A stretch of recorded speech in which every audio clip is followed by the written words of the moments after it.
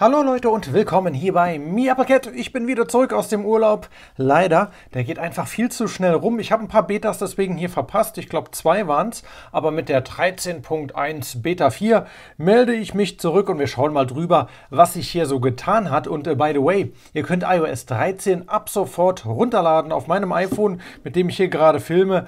Lädt iOS 13 gerade runter. Also äh, ab sofort verfügbar für alle. Und äh, ich schaue dann mal, ob das gut läuft auf meinem aktuellen Gerät. Und äh, die aktuellen Gerätschaften, da habe ich mir ein bisschen was bestellt, unter anderem was für ans Handgelenk und auch äh, ja, hier sowas Neues.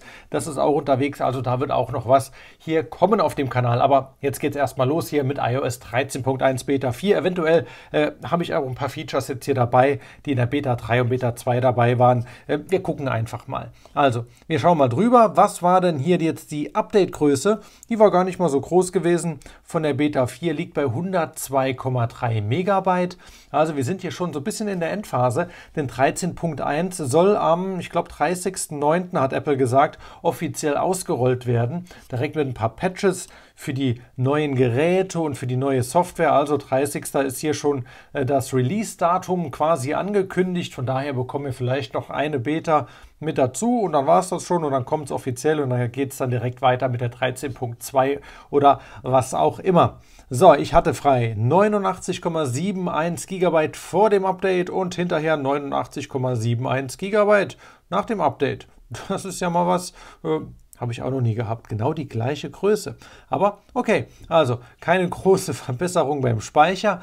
Aber was gibt es denn jetzt hier sonst Neues zu berichten? Was mir direkt hier mal aufgefallen ist, schaut euch mal das Apple TV-Logo an. Das haben sie überarbeitet. Und zwar war hier vorher immer dieser Apfel und das TV, also dieser Schriftzug, blau. Und das ist jetzt weiß geworden. Also neuer Schriftzug oder neues Icon hier für die Apple TV-App. Und das Ganze gilt nicht nur hier für das Icon, sondern auch in den Einstellungen. Wenn wir uns da das mal anschauen, auch da haben wir das neue Logo hier beim Apple TV. Übrigens, habt ihr gesehen, wie viel das kostet? Gerade mal 5 Euro und ein Monat kostenlos. Und wer sich hier ein neues iPhone, iPad holt, ein Jahr lang kostenlos Apple TV, ich werde, glaube ich, mal reinschauen. Aber das nur am Rande. Und dann gibt es noch was Neues hier bei den Kurzbefehlen. Wenn wir dort mal reingehen, haben wir unten den Punkt Automation und da kann man persönliche Automationen dann festlegen, irgendwelche Reihenfolgen von Befehlen, die ausgeführt werden sollen zu bestimmten Tageszeiten, wenn man irgendwo ankommt, äh, wenn man hier mit dem CarPlay sich verbindet und so weiter und so fort. Also da kann man eine ganze Menge dann einstellen und dann so eine ganze Befehlsreihenfolge abspielen lassen. Finde ich eine ganz coole Sache. Da habe ich aber aktuell noch nicht mit rumgespielt. Das Ganze gilt dann auch hier für die Apple HomeKit Steuerung. Da geht das Ganze dann eben auch.